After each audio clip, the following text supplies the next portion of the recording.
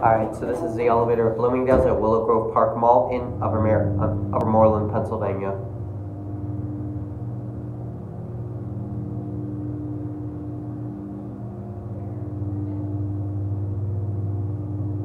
Look at it, happy very, elevator for Bloomingdale's, fixtures, capacity, four thousand pounds, one.